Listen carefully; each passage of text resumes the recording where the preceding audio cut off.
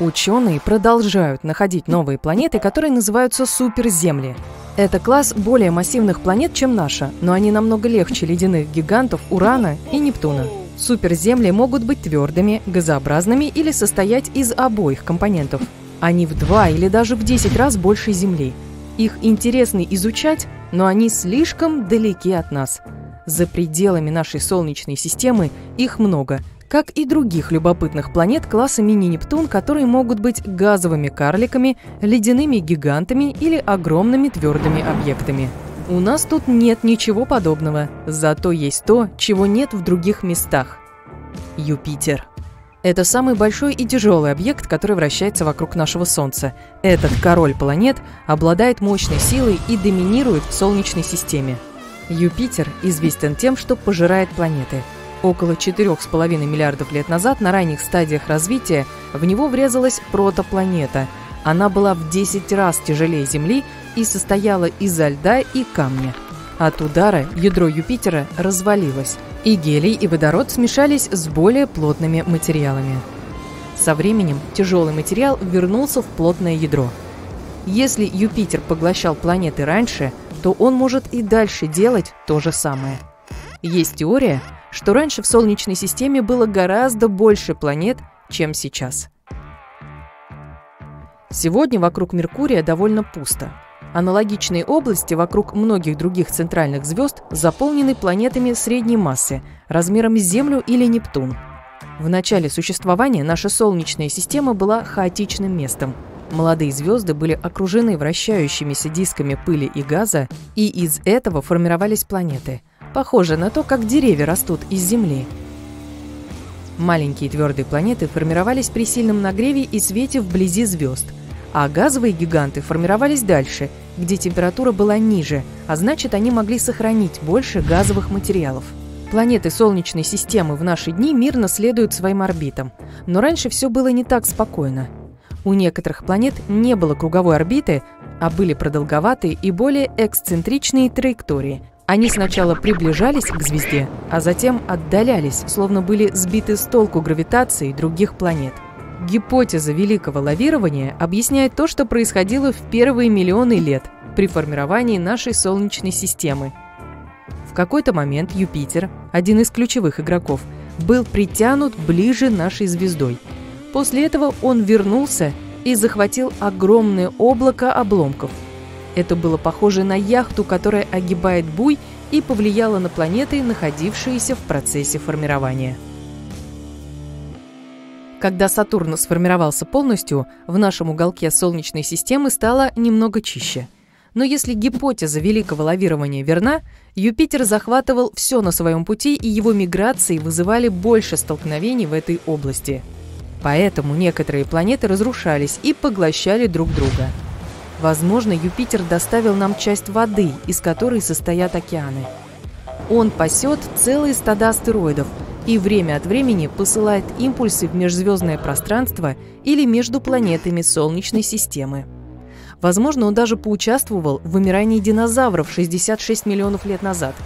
Когда огромный космический камень упал на Землю, он оставил кратер у побережья полуострова Юкатан в Мексике – это вызвало извержение вулканов, землетрясений и цунами, из-за которых вымерло три четверти животных и растений на Земле. Никто не знает, откуда взялся этот космический гость. Это даже мог быть не астероид, а комета. Есть теория, что к нам прилетела комета из облака Оорта, которое состоит из ледяных обломков и находится на краю Солнечной системы. Она могла быть сбита с курса Юпитером и его гравитацией. Наша Солнечная система напоминала автомат для игры в пинбол, где Юпитер, самая большая планета, выводил кометы на орбиты, которые приближали их к Солнцу. Когда кометы приближались к Солнцу, его приливные силы разрывали их на части и создавали осколки, похожие на шрапнель. Как бы то ни было, после этого столкновения на планете постепенно начали править наши предки млекопитающие. Значит, без Юпитера нас могло бы не быть, как и Земли. Ведь самая большая планета уничтожила старые планеты и расчистила путь для меньших миров, таких как наш. Возможно, именно из-за Юпитера мы не можем найти девятую планету. Ученые предполагают, что она существует и может скрываться где-то за Нептуном.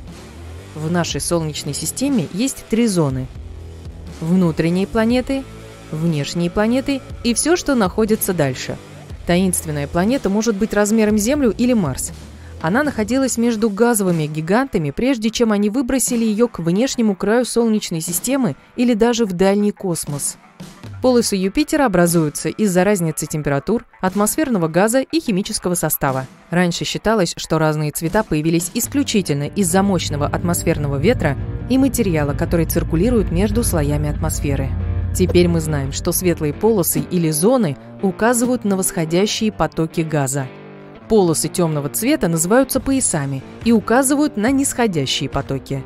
На полосы Юпитера могут влиять и его спутники, так как они воздействуют на конвекционные ячейки в его атмосфере. В центре Юпитера находится плотное жидкое ядро, состоящее из гелия и металлического водорода, вместе с более тяжелыми растворенными элементами. По мере удаления от центра температура и давление внутри планеты падают, и жидкая внутренняя часть уступает место газам из атмосферы. Опять же, в основном это гелий и водород. Граница жидкости и газа точно не определена, но, скорее всего, газовая атмосфера имеет толщину несколько тысяч километров, а все остальное – это жидкий водород и гелий. Если удалить газы, Юпитер все равно будет больше других гигантов, таких как Сатурн. Юпитер даже называют неудавшейся звездой, хотя этот термин не совсем точен. Он имеет схожий с Солнцем состав, но недостаточно массивен, чтобы в его ядре начались термоядерные реакции, как у настоящей звезды. Теоретически любой объект можно превратить в звезду, если добавить побольше вещества.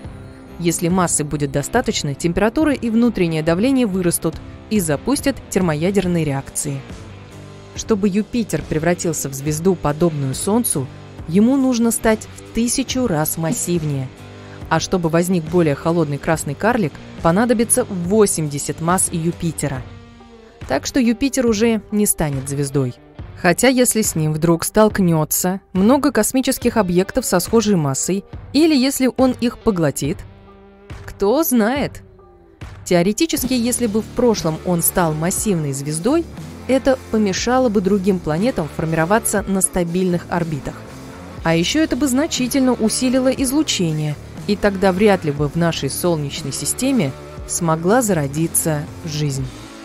Юпитер вращается быстрее всех объектов в Солнечной системе. Полный оборот вокруг своей оси он совершает всего за 10 часов, а ведь он огромен, более чем в 300 раз больше Земли и в 2,5 раза тяжелее остальных планет Солнечной системы вместе взятых. Но если бы он стал еще тяжелее, то сделался бы меньше. Большая масса сделала бы Юпитер более плотным, а значит он начал бы втягиваться в себя – он мог бы стать в 4 раза тяжелее и при этом остаться прежнего размера.